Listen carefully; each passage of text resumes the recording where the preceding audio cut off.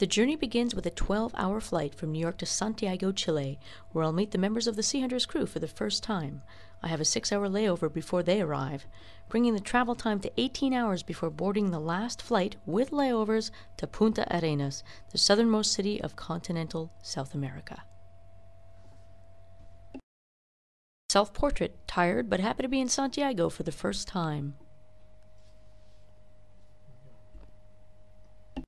Six hours later, and no sign of the crew. I reluctantly board the flight, only to be advised seconds before takeoff that I'm on the wrong plane.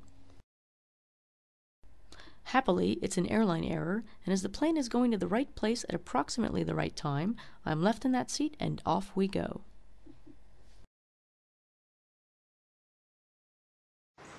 Finally, in Punta Arenas, I'm thrilled to meet Jim Delgado for the first time.